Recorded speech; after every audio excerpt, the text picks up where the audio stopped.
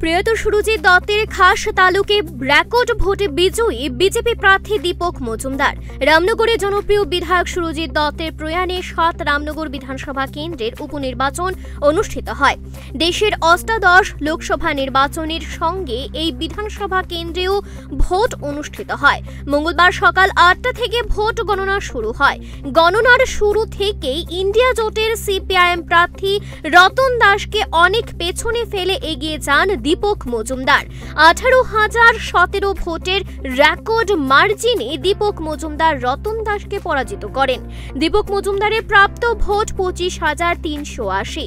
রতন দাস পেয়েছেন সাত হাজার তিনশো তেষট্টিটি ভোট। নোটায় পড়েছে আটশত সাতাশিটি ভোট। সংবাদ মাধ্যমের মুখোমুখি হয়ে বিজয়ী প্রার্থী দীপক মজুমদার বলেন, জননেতা বিধায়ক সুরজিৎ দত্তের মৃত্যুর পর রামনগরের জনগণ দুহাত পড়ে আমাকে আশীর্বাদ করেছে।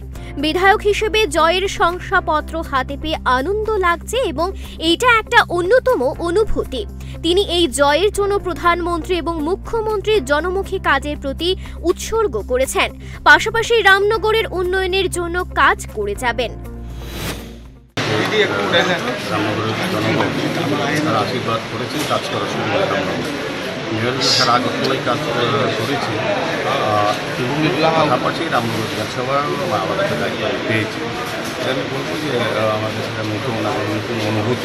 বিধায়ক হিসেবে আজকে মাত্র সার্টিফিকেট পেলাম এবং কাজ করে বুঝব যে বিধায়কের কাজ কতটা এবং কী করা উচিত।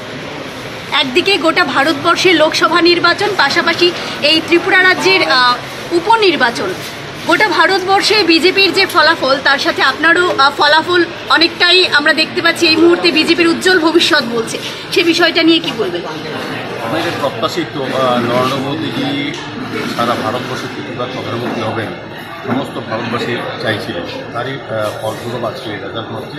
এবং ত্রিপুরা তো আমরা আগে থেকে আমরা জানি, যেহেতু সারা বছর যদি আমাদের ভারতীয় জনতা পার্টি কার্যকর্তারা নেতৃত্বরা সবাই কাজ করেন সরকার আমি বিশেষ করে বলব আজকের এই জয়ের বিষয়ে প্রথম যদি যেটা হচ্ছে এটা নরেন্দ্র মোদীজির উপর মানুষের আস্থা বিশ্বাস এবং কাজের জন্য, দ্বিতীয়ত ডক্টর মানুষের নেতৃত্বে রাজ্যের মাননীয় মুখ্যমন্ত্রী অনেক সরকার যে কাজ করছে মানুষের তার উপর আস্থা এবং বিশেষ করে পৌর নিগমের আমাদের প্রকল্পের যে কাজ করেছে, তার উপর মানুষের আস্থা রেখেছে।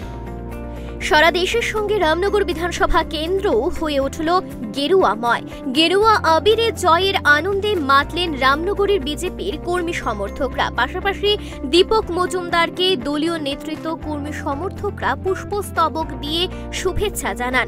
বিজয় প্রার্থীকে নিয়ে ব্যান্ডের তালে তালে এলাকায় বের হয় বিজয় মিছিল।